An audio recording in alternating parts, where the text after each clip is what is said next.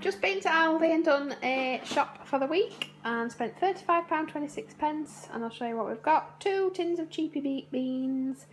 uh, some chickpeas, butter beans, kidney beans for a bean chilli, sweet corn, two chunky top tomatoes, cherry tomatoes, kitchen foil, multi-action wipes, benefit bars, the summer fruit ones, two passatas, a classic hummus, a rice, potatoes, two natural fat-free yogurts, mushrooms, a lettuce, mixed peppers, mixed chilies, which are in the Super 6, a pork fillet, 12 free-range large eggs, two fat, 5% uh, fat lean beef mince, two Coke, Diet Cokes, um, skimmed milk, broccoli in the Super 6, uh, frozen summer fruits and a frozen black forest fruit, some chocolate for the little one,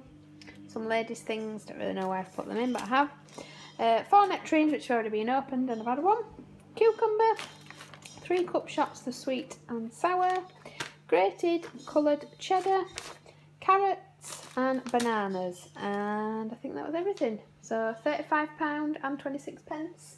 and um, yep that'll do us for a week. See you soon, bye!